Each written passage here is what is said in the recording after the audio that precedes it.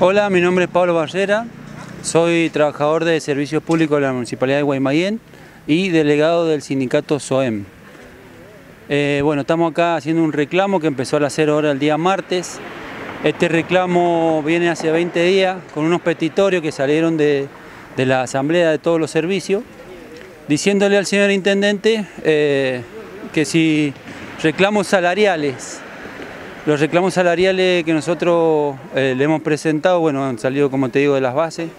El señor intendente ayer convocó a una reunión paritaria donde no trajo nada a la mesa, bueno, nosotros agotamos todas las instancias legales que teníamos y hemos decidido hacer una medida de fuerza que empezó a las 0 horas de este martes. Bueno, nosotros, como te digo, tenemos un sueldo de la clase inicial de 28 mil pesos, eh, con un salario de bolsillo, porque está sujeto a algunos ítems que tenemos, un salario de bolsillo que no llega a los 60 mil pesos. Después tenemos también, quiero contarle que tenemos también unos ítems que trabajamos los días fines de semana y feriados, pero no todos los trabajadores lo tienen. Eh, el reclamo que le hacemos al intendente es puntual, digamos, acá, eh, para que se enteren en Guaymallén los vecinos, tenemos la empresa Santa Elena, que ellos sí hacen la misma tarea que nosotros y tienen sueldos tres veces mayores. Entonces, bueno, eh, de hace bastante que le venimos diciendo al intendente que mejore la situación salarial, la escala salarial de, los básicos y bueno, no, hasta el día de ahora no, hemos tenido respuesta. Bueno, nosotros acá en Servicios Públicos, en la calle Bandera de los Andes, tenemos el sector de recolección de residuos, higiene urbana, eh, barrido, cuneta, sifonero y el área de riego. Pero también hay paro en distintos sectores de, la municipalidad como obras municipales, espacios verdes, el DOA, obras privadas, eh, movilidad, bueno, también en el edificio los compañeros han adherido a hacer paro, tenemos un 90% de acatamiento en todo, en todo el municipio, así que bueno, estamos, estamos dando la lucha y eh, haciéndole entender al señor intendente que, no nos alcanza para comer, que tenemos la necesidad de, llegar a fin de mes y no lo cubrimos, así que bueno, el reclamo sería ese.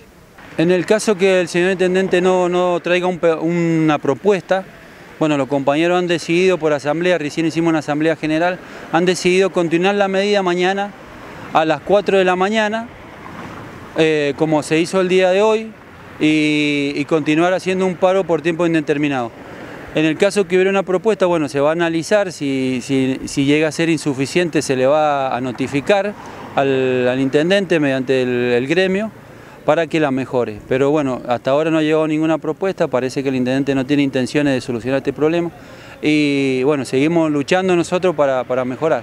Bueno, lo que le podemos decir al vecino que esta decisión que ha tomado el intendente arbitraria de cerrar el diálogo paritario eh, perjudica totalmente a la sociedad, ¿por qué? Porque hay muchas obras paradas, la recolección, de residuos no se hace, el riego tampoco, la eh, higiene urbana tampoco se levanta, entonces bueno, eh, una decisión que él ha tomado perjudica totalmente a toda la sociedad de Guaymallén.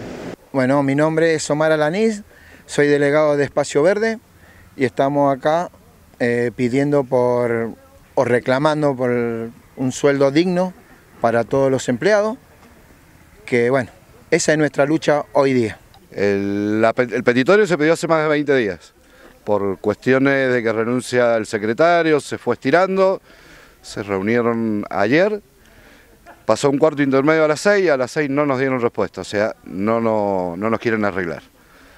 Eh, estamos hablando de que una clase inicial, sin ningún adicional, está en 49 mil pesos.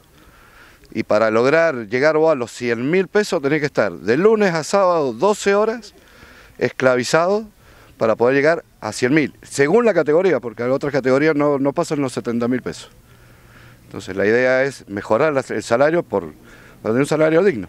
Y las persecución, hay mucha persecución de parte de, los supervisores, de los jefes de alto rango. Exigencias a veces sobrehumanas, eh, personas que tienen que estar todo el día con una máquina colgando para poder llegar a tener un sueldito más o menos para poder llegar al día 20, porque no llegás al 30.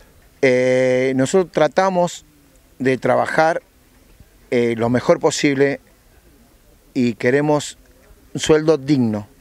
Nada más que eso, un, un sueldo digno para poder vivir dignamente, valga la redundancia.